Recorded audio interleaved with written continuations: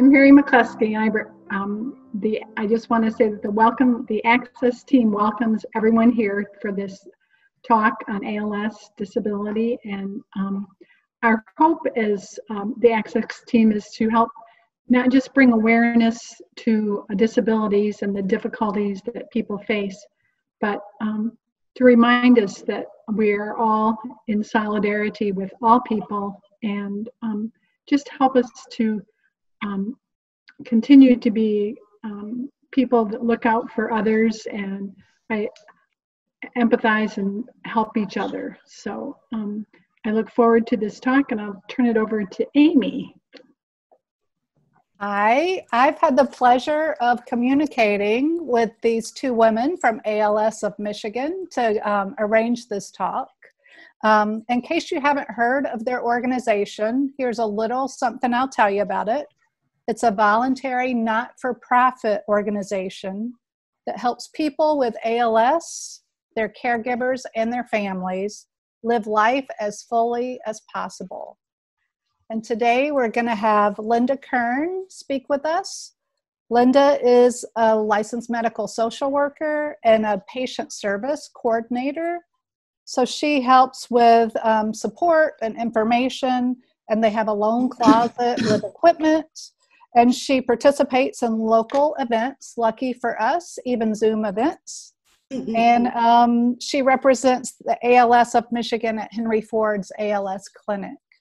Um, she graduated from Wayne State with a bachelor's and a master's in social work.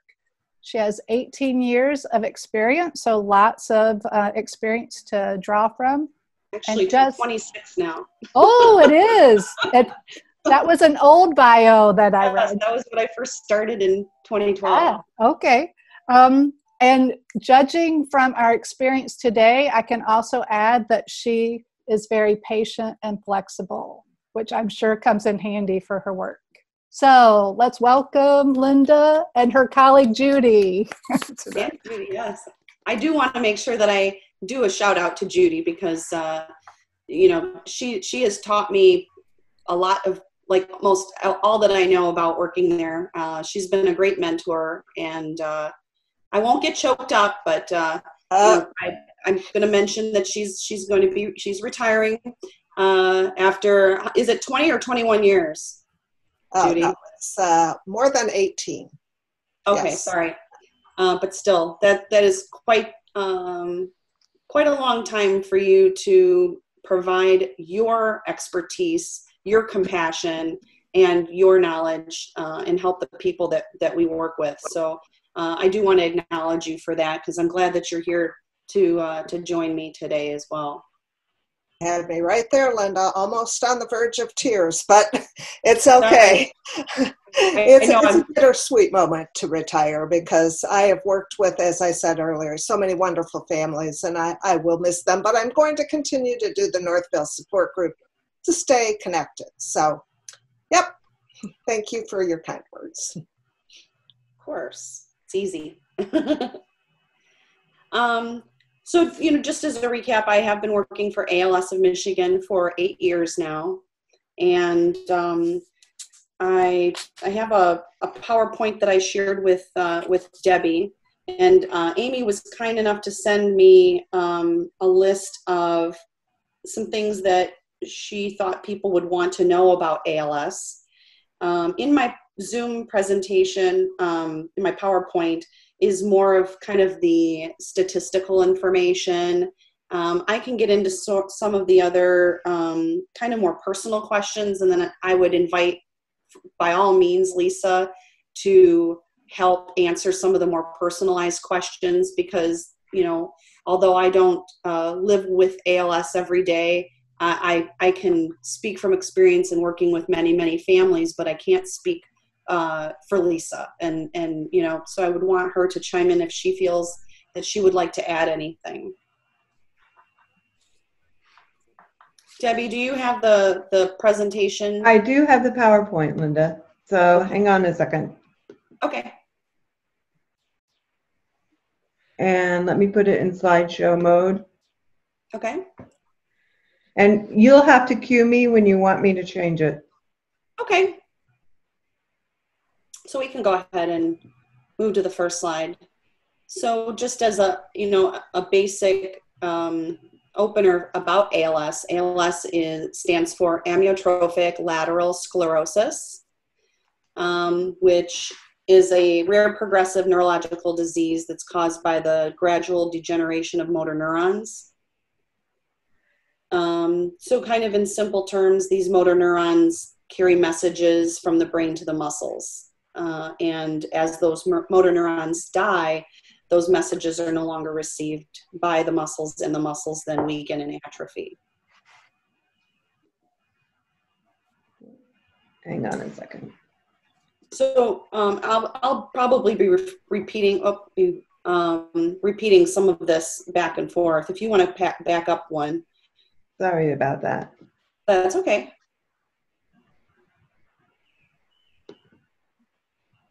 Um, you know, for every person who um, is diagnosed with ALS, their ALS starts differently. It, there is no um, one way for people to um, to start uh, ALS symptoms.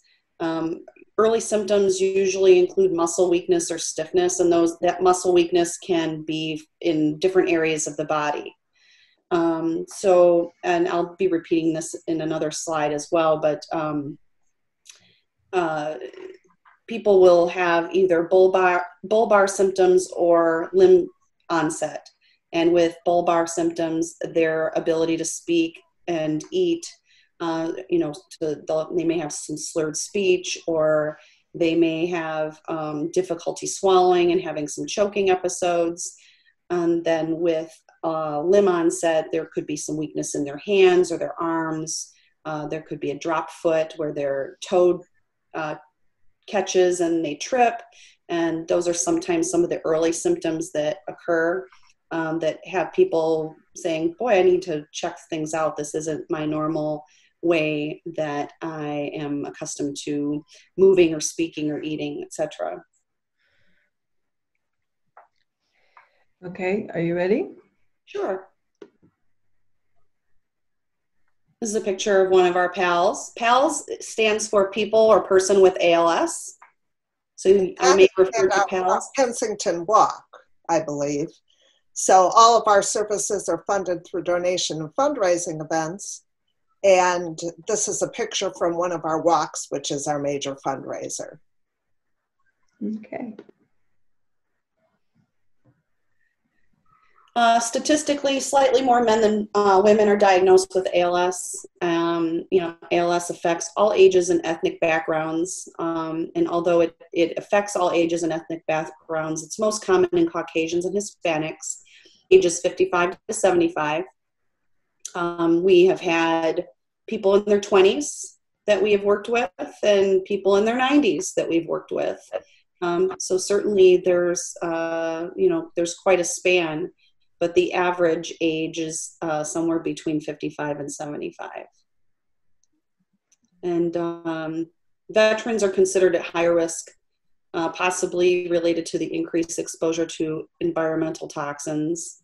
Um, the VA had, uh, I can't remember what year it was off the top of my head, but um, had considered ALS. Um, what, what's the, uh, is it presumed? What is it? Judy? Presumptive. Yeah, Presumptive. eligibility. Yeah, so uh, someone diagnosed with ALS then uh, has access to um, a wealth of benefits through VA. I guess one of the things I didn't think of uh, mentioning is, you know, we can do uh, questions as we go along, or we can do questions at the end. I don't know what everybody else is comfortable with.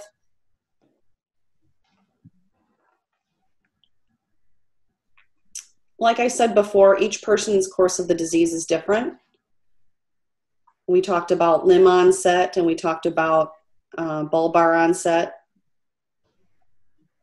Lisa, how much do you do you want to involve yourself in the discussion. Do you want to share anything about your early symptoms or how you uh, uh, you know, came to be diagnosed? Sure. I was having, um, people kept telling me I was limping. And it wasn't until we moved to Ann Arbor that I realized I really could not walk around town. And that was in 2018. And then I started the very long process of going from doctor to doctor and physical therapy, trying to figure out what was wrong. And then my breathing was affected, and that's when it really hit home. And someone else noticed my breathing. I didn't even notice it. So let's talk. Oh, I'm sorry, Lisa. I'll let you finish and then I have something to add. I was um, told I had multifocal motor neuropathy. And I was treated for that. I mean, they have to rule everything out, and there's no test for ALS. And then I finally got diagnosed, and it's just gone downhill from there. So Lisa's um, journey sounds pretty familiar to me, and it's it's very frustrating. I think for a lot of people because they have these symptoms and they go to the doctor, and many times they say, "Oh, you need back surgery or you have a pinched nerve or something." They have the surgery, and they don't get any better. So you know there is no one test that tells you it's ALS. It's really um, excluding other diseases with the same symptoms. So sometimes it can take over two years to get a diagnosis, and, and uh, you know, very frustrating for families because they're dealing with all of these changes and nobody can tell them what's wrong. It took 10 months. Yeah. That does sound familiar. Mhm. 10 months from the time I finally decided that something was wrong and I better figure it out. Mhm. Thank you for sharing that with us, Lisa. So yeah, just to piggyback about the um, diagnosis of exclusion, that's one of the reasons why it takes so long is all of the testing and um, you know trying to confirm the diagnosis. A lot of people choose to get a second confirmation of the diagnosis. Um, the EMG is generally what confirms uh, ALS. It's a test where there's uh, all these little needles um, that uh, test the motor, uh, the, the damage to the motor neurons.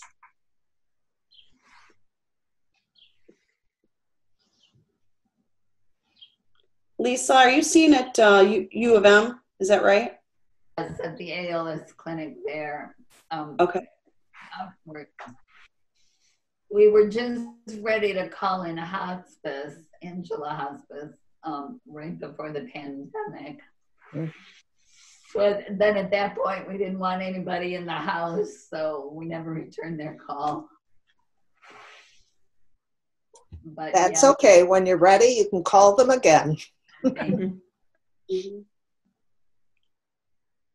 So, as you probably know, and, and from my experience being at the Henry Ford ALS clinic, um, they check on they they do something called an FRS or functional rating scale uh, each time that you go in for a clinic visit, and it compares your level of functioning uh, of a variety of tasks with your last visit and uh, at their at the, your first visit they do one as well so that they have something to go by as they go along. So as um, symptoms uh, worsen if you know weakness whether it be uh, like for instance when lisa talks about having breathing issues and now she has got the uh, uh, like a, a sip, sip and puff style um, is it a uh, like a non-invasive ventilator correct? Okay I, um, I wear the regular mask where it pushes the air into my lungs. Okay. At night you wear that? I was just I didn't know if you said you wore it at night. And I wear um, the mask where the air is pushed into my lungs. But, but yeah, this I just sip on throughout the day constantly. So one of the things that happens with with um, a decline in respiratory function is the muscles that move the diaphragm and allow you to take a nice deep breath and exhale uh, the breath uh, become very weakened and they need uh, um, what we call bi-level or BiPAP machine that helps both with uh, pushing air into the lungs and then helping to pull the air out of the lungs. Um, a lot of people have heard of CPAP machines, and that's just one function which helps push the air into the lungs because people usually don't initiate the breath, but this does both functions. So I think um, what people might not know is that ALS only affects um, voluntary muscles, and the diaphragm is a voluntary muscle. So, uh, you know, all other muscles like the heart, it isn't a voluntary muscle, so it's oh. not affected, but the respiratory system is because, of course, the diaphragm is a voluntary muscle and the ancillary muscles around the lungs are voluntary as well. That's why respiratory is affected in the way it is.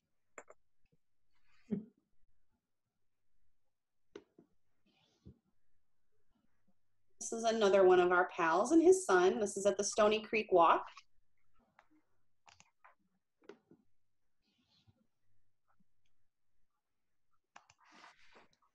So just talking a little bit more about our, our services, Amy had noted that, um, that we have a loan closet, uh, which is full of all kinds of durable medical equipment that's typically not covered by insurance that helps people with eating, grooming, dressing, bathing, mobility.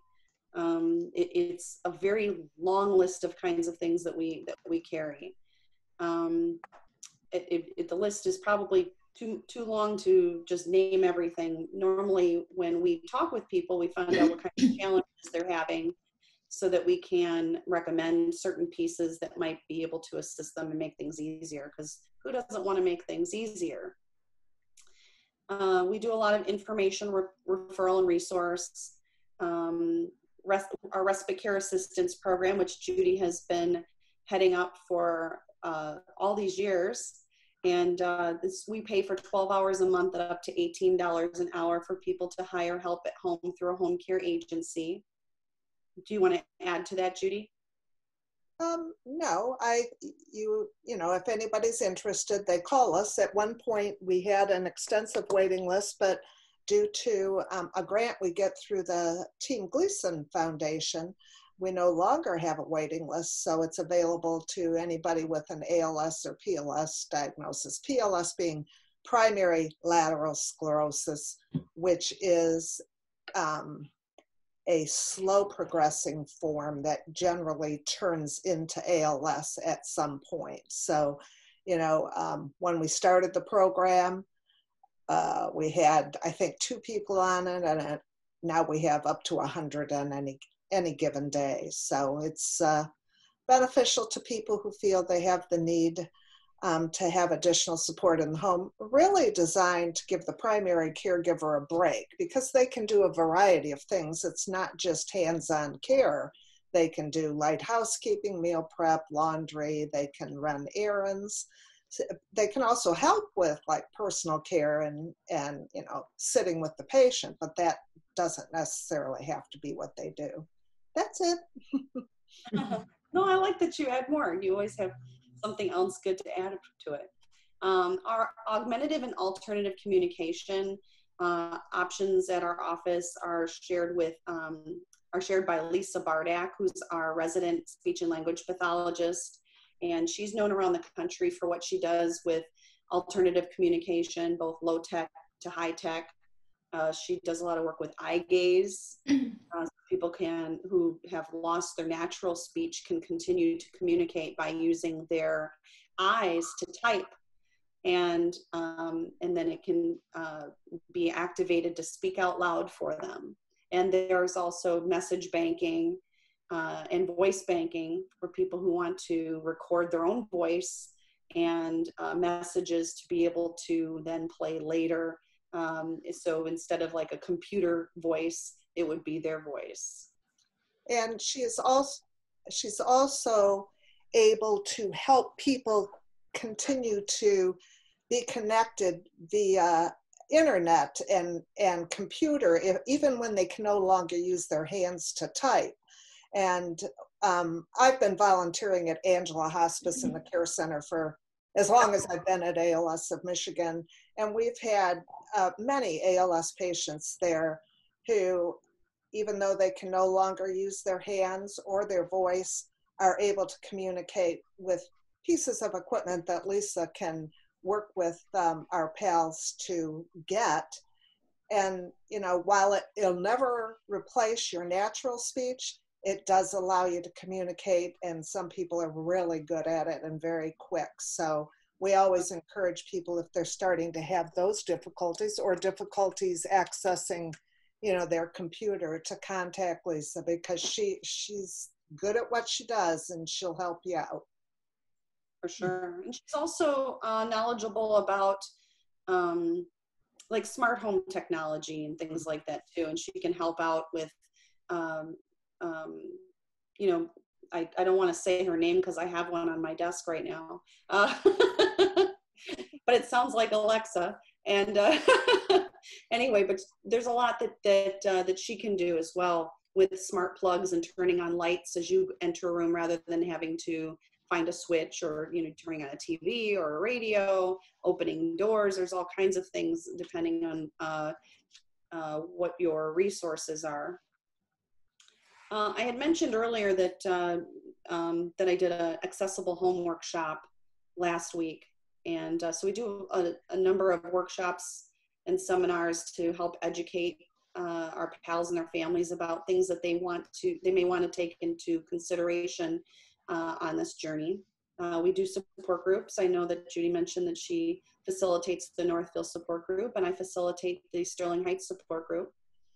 Um, one of the other things I think that we do very well through our office, if I don't say so myself, is our one-to-one emotional support.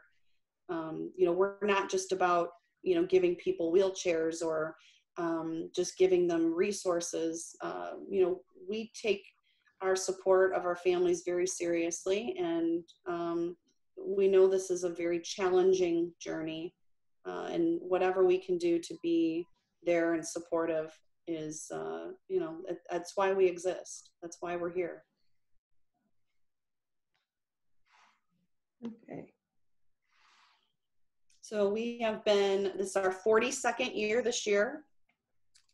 And uh, this just happens, I know that uh, we were asked about the our address. So this is our address, uh, our website.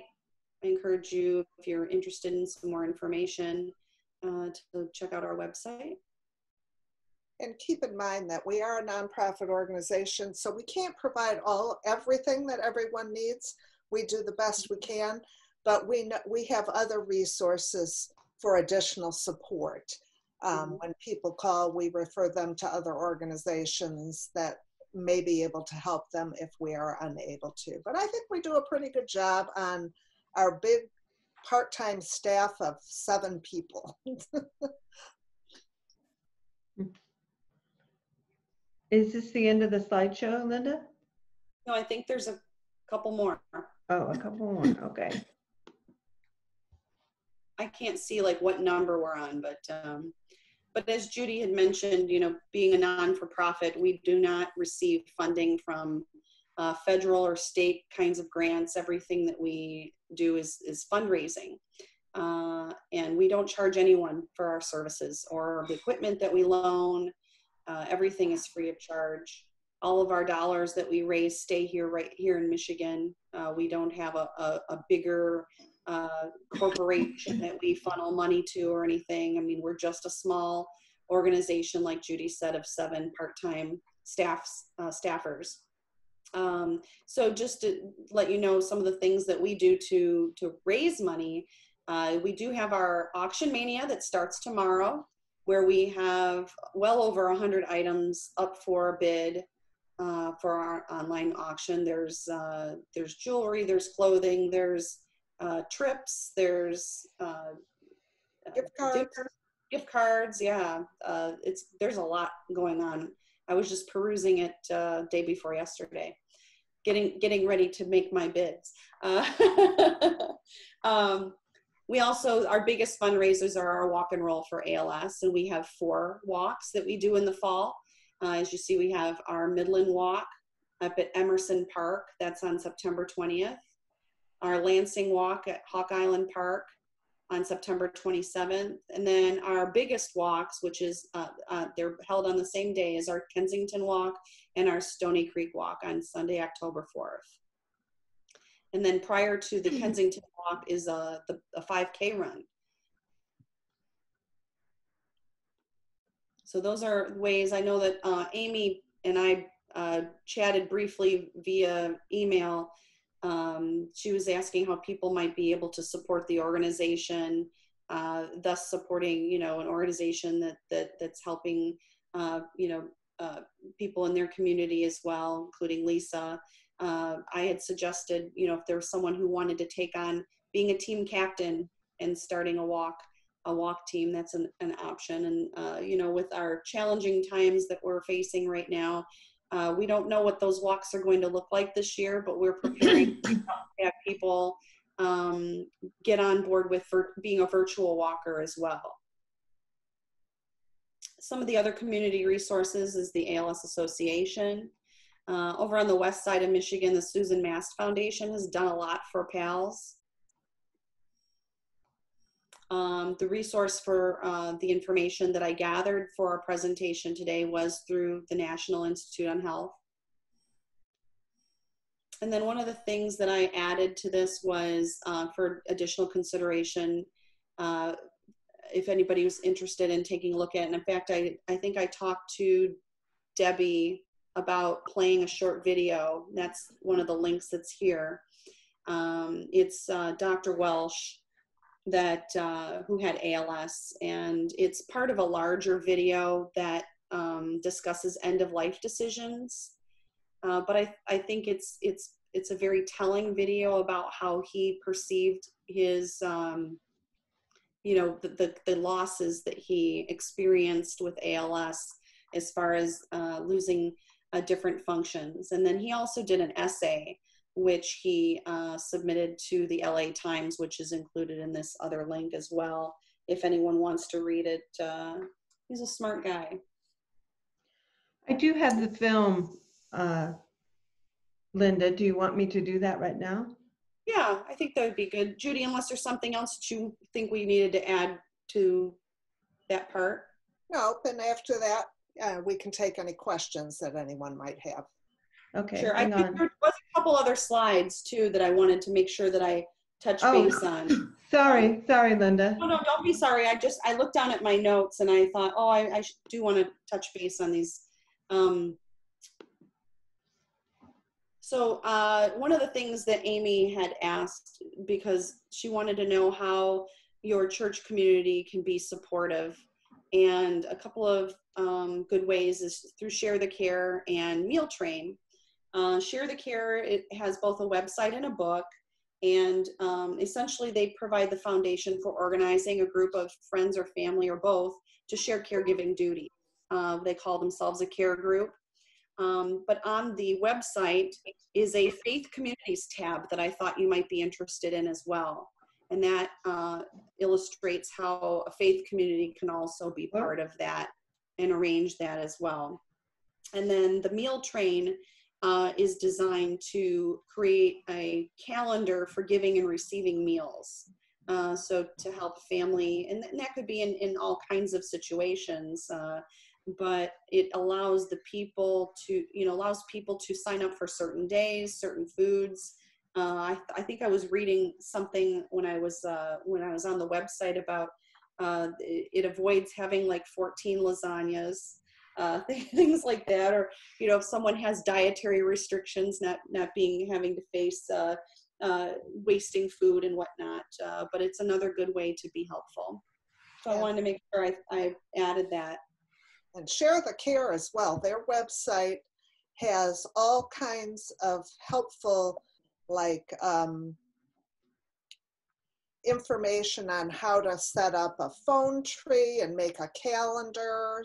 It's, it's an excellent resource as well if you're going to set up a team of um, people to help out. Okay. Agreed. Uh, trying to look to see what other um, slides I had. I couldn't remember if I had another one past that. I think that's all I've got, Linda. Okay. So here is the film.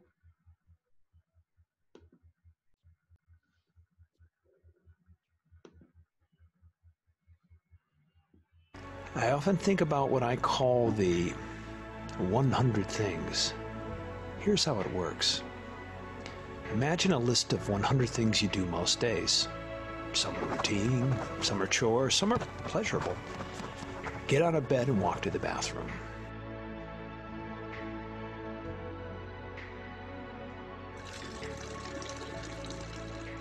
Kiss your wife. Answer the phone.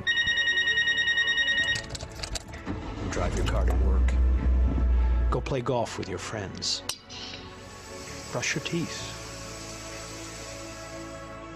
Write a letter, lick and seal the envelope closed, and put a stamp on it.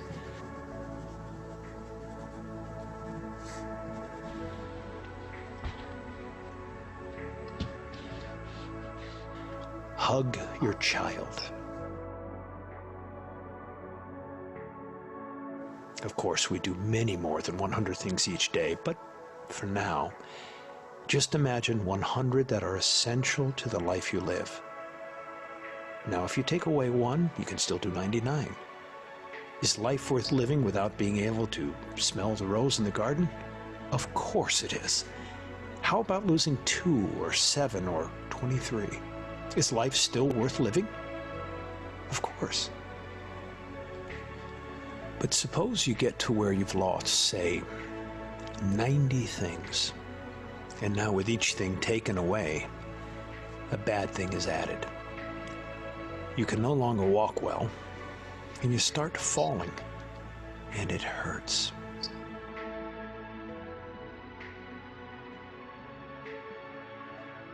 Your grip is gone, and you also suffer the ignominy of wetting your pants because of bladder spasms. You can't turn over in bed, and that also means you will get bed sores unless someone turns you frequently. Life is still worth living. But you're getting tired.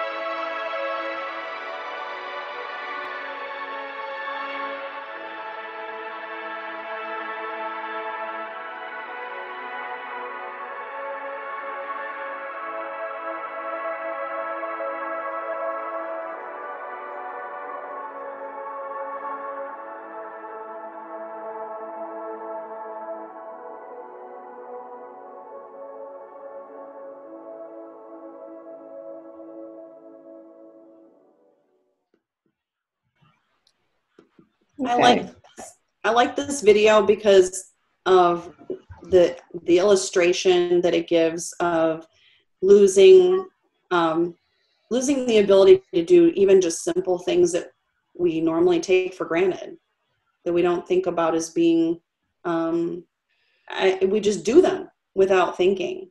And i think that uh, it, it was a very good illustration of you know yeah people have a lot of choices to make and attitude is everything with als I've, I've met a lot of families and i have people who have just phenomenal attitudes and say this is not going to hold me back. I'm going to continue to do everything i can for as long as i can. And i have had some people who uh, tend to have a, a, very give up attitude very early on before they've really lost um, those 90 things that they can't do anymore uh, I know that, like I mentioned, this video is part of a larger picture regarding end of life care, and there's a lot of decisions that uh, that pals need to make. As far as I know, that uh, Lisa mentioned hospice and things like that, and uh, what what is valuable about those kinds of uh, additional supports and and uh, care options and things like that. to have in the home. And I think what what it is good at doing is um, letting people know that you know now is the time to make plans. Don't wait till there's an emergency situation because you don't want to be making tr- difficult choices under emergency situations in an ER um, where if you have it planned out, it will make things a lot easier. For everyone. Yes, yes. Thank you for adding that, Judy, because you're absolutely correct. Are there any questions for us? I I have one. Is there research ongoing? I'm sure there must be on uh, how to treat or um, solve any of these problems about ALS? It's always going. Uh, there's always research going on. There's always uh, clinical trials and studies and things like that going on too, trying to uh, find something to slow the progression of the disease. Uh, right now, there's only two uh, treatments, if you will, um, that are available to PALS. There's uh, Riluzole, or it's also called Rilutek, and there's uh, Radicava. Uh, Riluzole is a pill, and Radicava is an infusion through like an IV. Um, both both designed in some in, in very similar ways to slow the progression. It's kind of up in the air of how effective they are. And you know, in all of my time at ALS of Michigan, um, all of us have been to the International Motor Neuron Disease Symposium that's held once a year, every other year here in the US, and, and then every other year at another country. And I can tell you that there are many, many doctors who are working to try and find a treatment or a cure for this disease. Most of the, a lot of them, that, since my 18 years, have spent their whole life trying to figure this out and you know didn't live to see the end result but there is ongoing research all over the place by many neurologists and researchers to try and work this out. And you know i think linda had mentioned earlier about um, the higher incidence here in michigan than a lot of other states for our you know per capita than a lot of other states.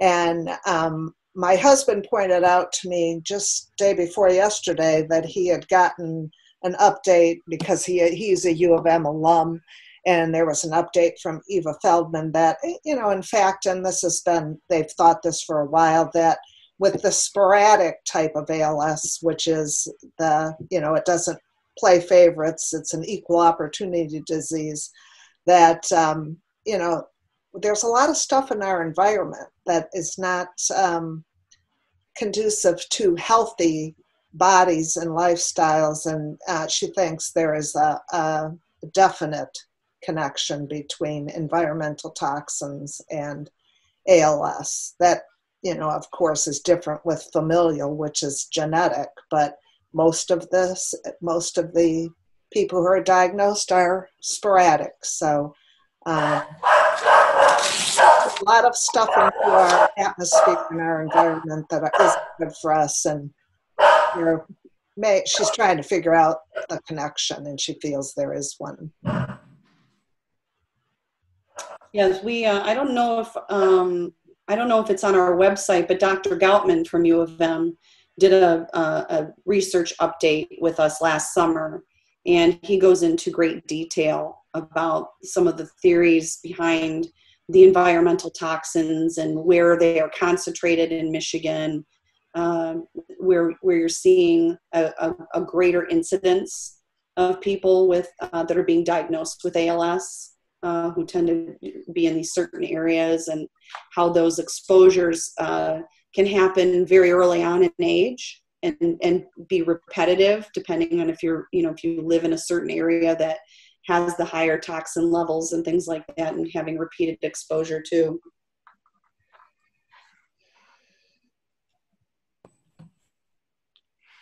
Did that help answer your question Janet? Is, is Lisa on any treatments, Nick?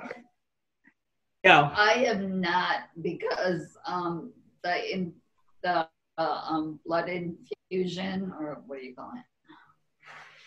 The Radicava. Dr. Really um, was not encouraged by that treatment. He felt that he's seen a lot of his patients go downhill quicker with the treatment. And the pill, um, I had, uh, what was it? Too many, something in my liver was too high. So I am not able to do any of the treatments. Well, and you have to keep in mind too that these treatments are not without side effects. So you're right, Lisa. It's it's about weighing the pros and cons, and with them not being really able to say anything that other than it might prolong, you know, life for a few months. You really do have to take those into consideration because we've had people, as Linda can attest to, that have taken Riluzole, which has been around for more than 20 years who who couldn't take it because it affected them adversely as well as the radicava so yeah there those are all choices everyone has to make and you have to make the one that's best for you I do have a feeding tube. And they they offered me a trach so I could breathe better, but I said no to that. yes they're all personal choices absolutely i'm glad you've discussed those and made decisions about them Lisa, I think we all want to know how best we can support you as a church and um, individually. Um, honestly, other than praying and praying for my family,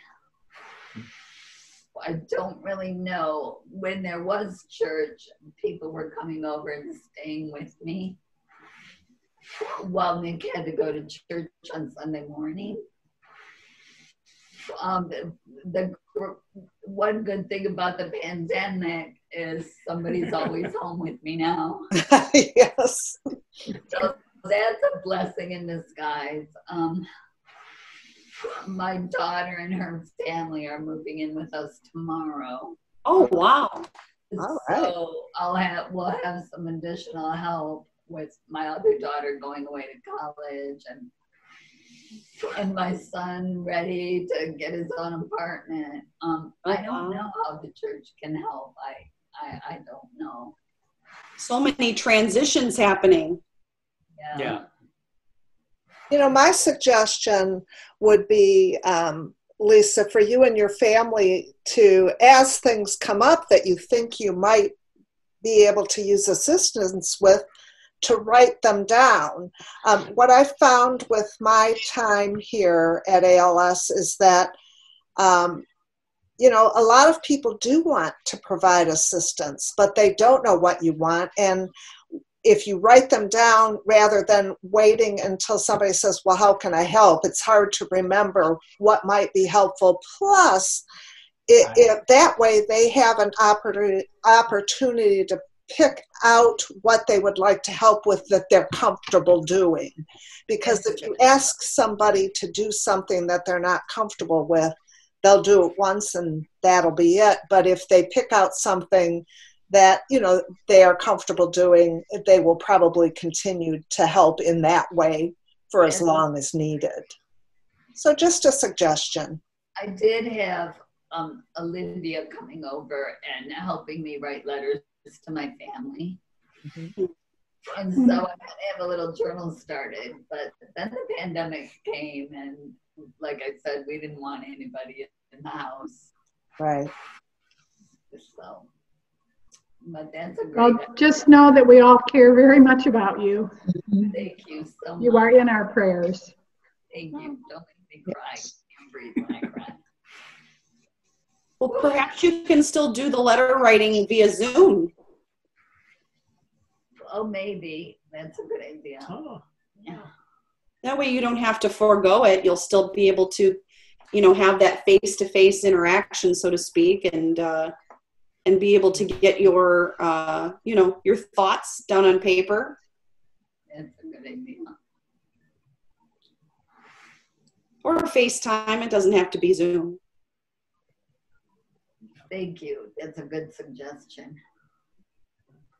If Olivia was taking dictation from you, she I have seen her on Zoom, so it's an option if you'd like to pursue it.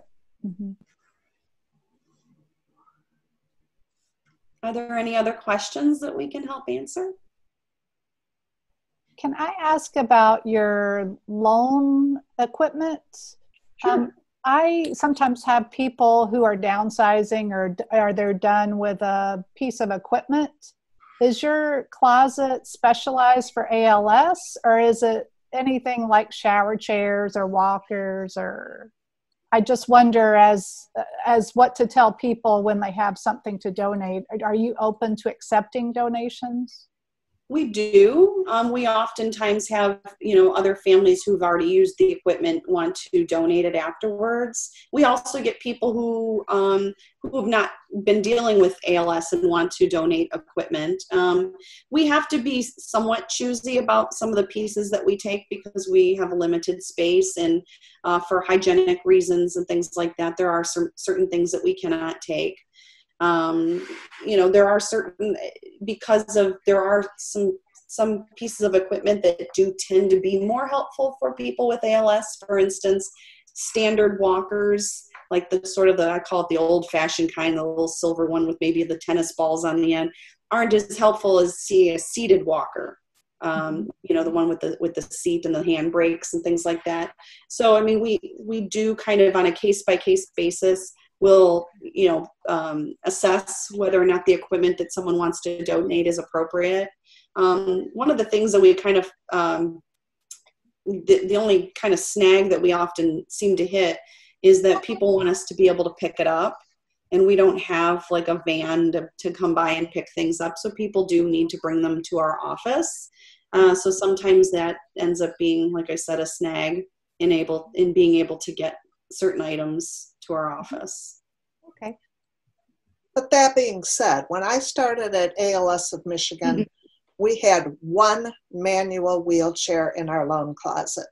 We now have more power chairs than I can count and a, a huge space. And without people donating, families who had ALS or PLS, we wouldn't even have a loan closet. But like Linda said, we do have to be a bit selective. We do have limited space people many times want to donate hospital beds. We don't have room for those. Um, and, you know, like Linda said, things uh, like um, bedside commodes, because we don't have any way of sterilizing them or sanitizing them, we don't take them. But without donations, we wouldn't have a loan closet. So the best recommendation I would have is if somebody has something to donate. If they write up a list of what they have, give us a call and we tell you what we can and can't take.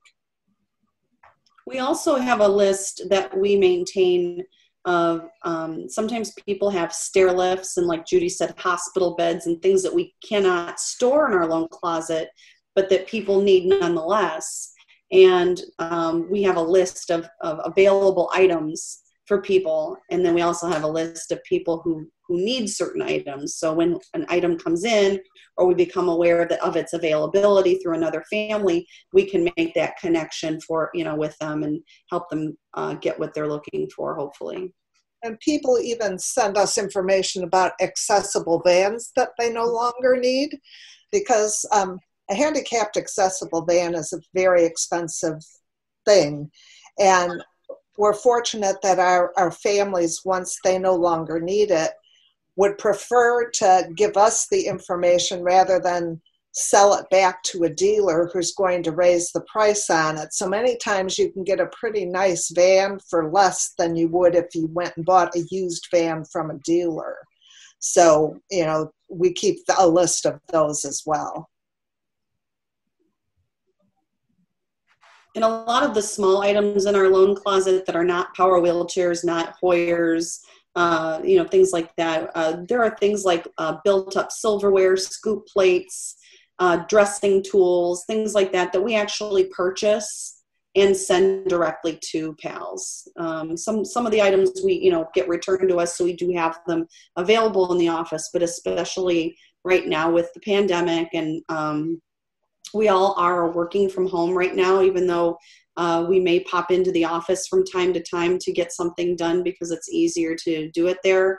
Um, uh, we, we're doing a lot more drop shipping to people of all kinds of equipment, even you know transport wheelchairs and manual wheelchairs right now.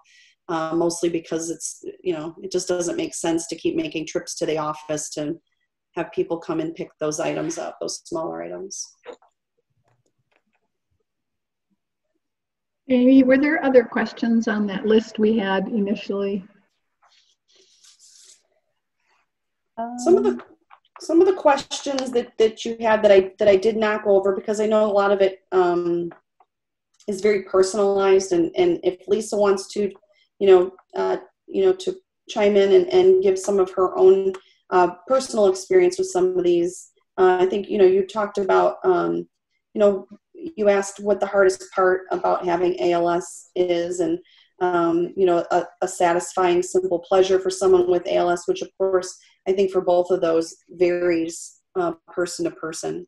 Um, obviously, I think, you know, but it made me start thinking about quality of life and uh, how important quality of life is uh, for everyone and what we all consider to make our lives quality or a moment or a thing uh, or an experience uh, is different you know whether it be uh, someone holding your hand or someone bringing you your favorite food or watching your favorite movie with the person that you love or you know getting a hug from someone that you love or hearing from someone that you love or just comfort. And i don't know about you lisa but um, i hear a lot of people with als talk about how uncomfortable they are and how hard it is to get comfortable and um, as your muscles weaken, it's difficult to to even just adjust yourself.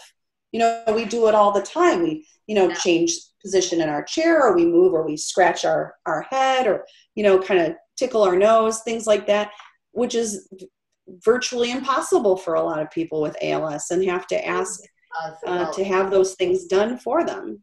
Um, so, I mean, even just those things can be comforting to not have to have um, pain or um, pressure on their backside and things like that. So we talk about equipment that can help uh, with that part of quality of life. And we also have, I, I personally, I think when first diagnosed or even throughout the disease process, a lot of people are concerned because none of us know and they don't know what's going to happen next or when. What what are they going to lose the ability to do next? And for a lot of people as for all of us the unknown is scary and and difficult to deal with when you don't know what the what's coming next. So i hear a lot of that from our families not just our pals but our families as well because you can't you can't prepare for something if you don't know what that something is mm-hmm. i completely agree with you judy that unpredictability is a very difficult part of the ALS.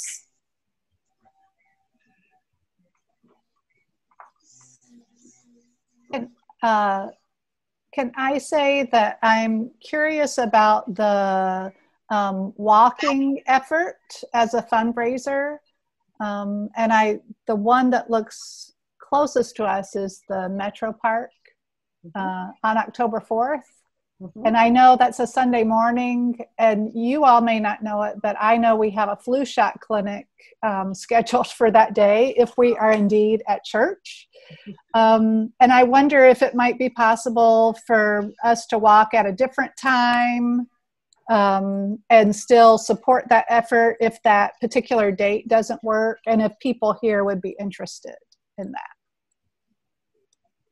you can always participate virtually. You don't have to be there on that day.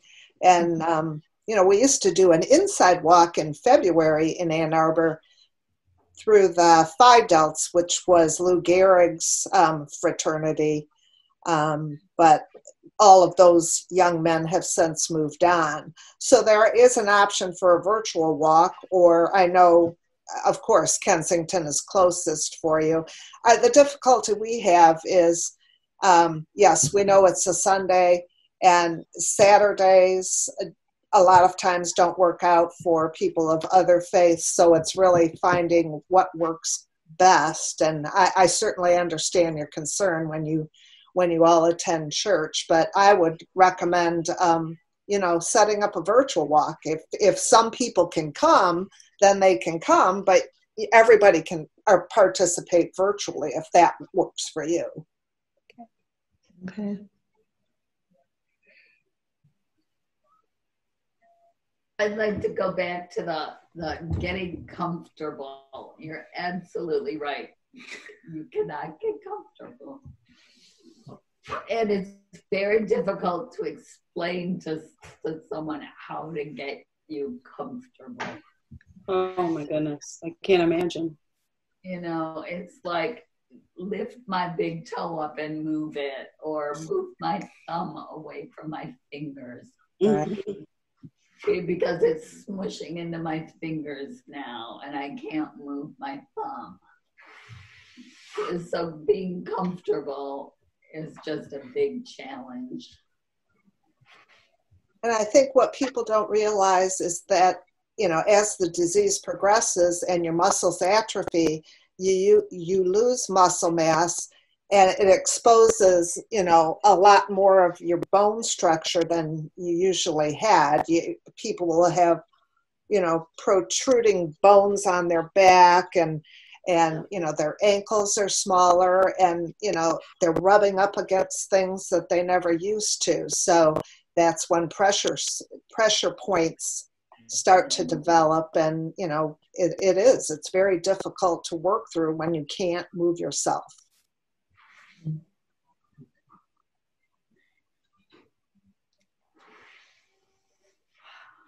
Now, Judy, um, I, I just want to say thank you.